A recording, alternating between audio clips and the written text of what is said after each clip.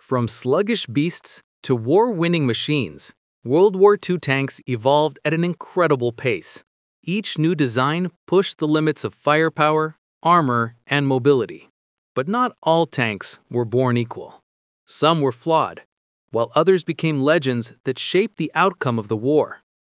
The Soviet KV-1S was introduced in August 1942 and designed to fix the KV-1's poor mobility with its reduced heavy armor and lower overall weight at about 42.5 tons. This allowed higher speeds up to 40 kilometers per hour, giving crews better control and maneuverability.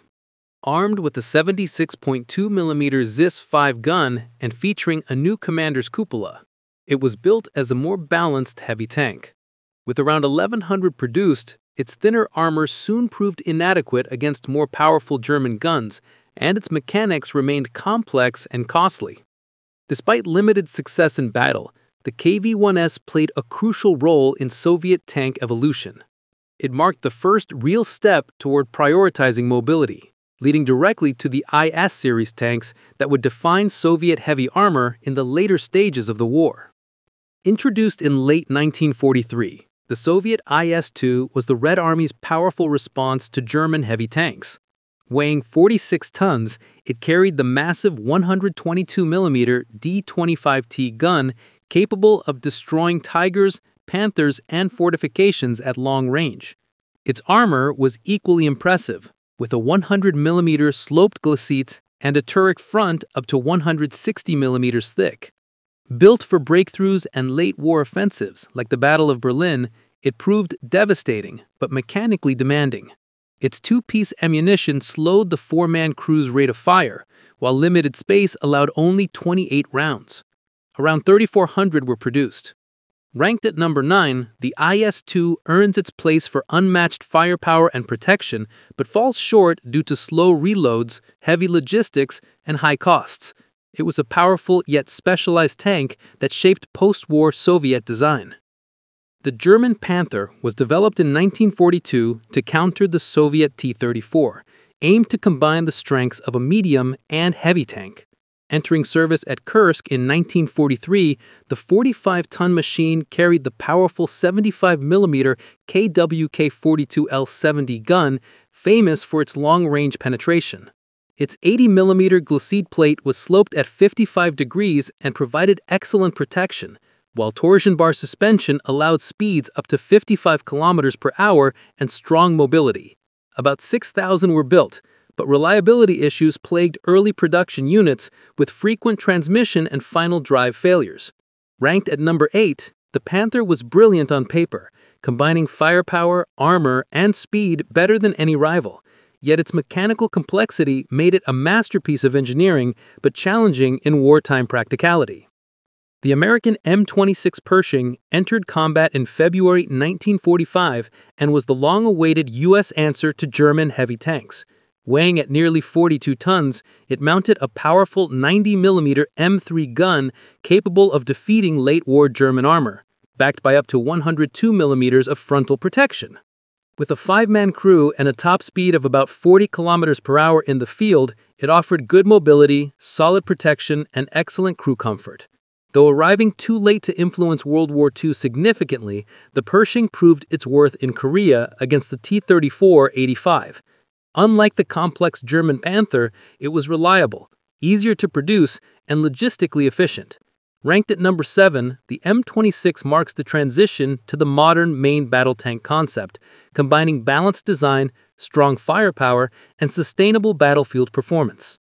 The British A-34 Comet entered service in late 1944 and was the peak of British cruiser tank design.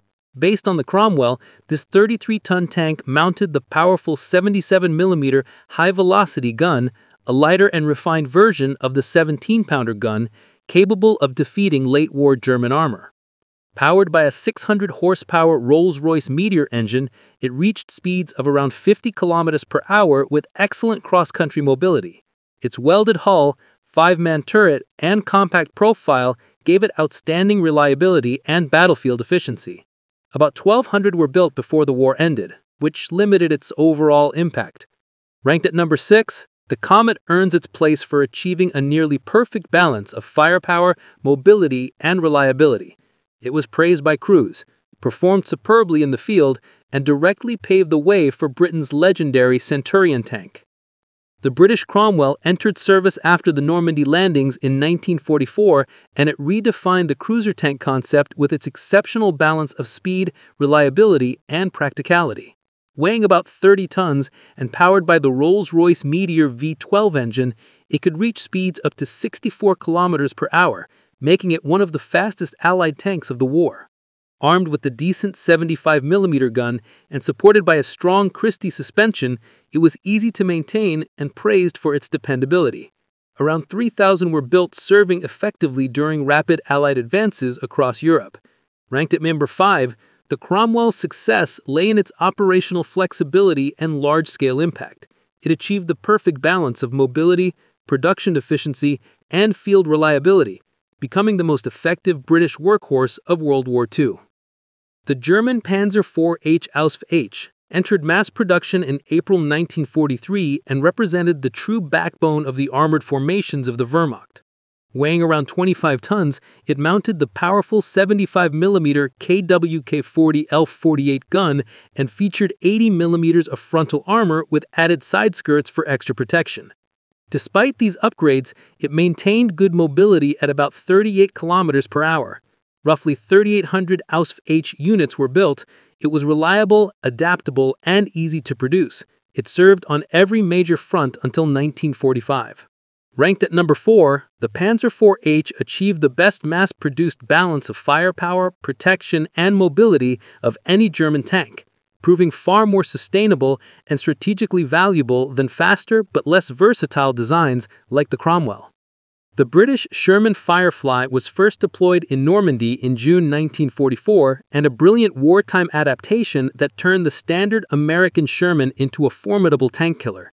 By fitting it with the powerful 17-pounder gun, the Firefly could destroy Panthers and Tigers that regular Sherman struggled to penetrate. Around 2,100 were built by 1945, giving Allied forces a much-needed anti-armor edge. Retaining the Sherman's proven chassis, drivetrain, and logistics made it highly reliable and easy to maintain in the field. Ranked at number 3, the Firefly's success came from combining massive firepower with existing mass-producible infrastructure. It was the perfect blend of adaptability, mobility, and battlefield effectiveness, providing a fast, reliable, and deadly response to Germany's heaviest tanks without requiring an entirely new design. The Soviet T-34-85 was the ultimate evolution of the legendary T-34, combining superior firepower, mobility, and mass production. Retaining the sloped armor and 55 km per speed of earlier models, it introduced a new three-man turret with the powerful 85mm ZIS S-53 gun. This greatly improved command efficiency and combat awareness, fixing the major flaw of the original design. Produced in staggering numbers, around 23,000 during the war, it became the backbone of Soviet armored offensives in 1944 and 1945. The T-34-85's rugged simplicity, ease of manufacture, and battlefield effectiveness gave the Red Army overwhelming armored strength. Ranked at number two, it represents the perfect wartime balance of firepower, mobility, and production scale. The M4A3E8 EZ8 Sherman was the final evolution of the Sherman series and widely considered as the most balanced tank design of World War II. It featured the advanced HVSS suspension and wider tracks, giving it smoother handling and excellent cross-country mobility. Armed with the long-barreled 76mm M110A1 gun, it offered solid firepower, while its greatest strength came from logistics and reliability. Using the massive Sherman production network, it shared parts, training, and maintenance with earlier models, making operational deployment easy. About 2,600 were built during the war, featuring welded hulls, wet ammo storage, and a full five-man crew for superior coordination. The Easy 8's massive mobility, simplicity, and worldwide service longevity make it the most strategically complete and successful tank of the era. Thank you for watching, and see you in our next videos.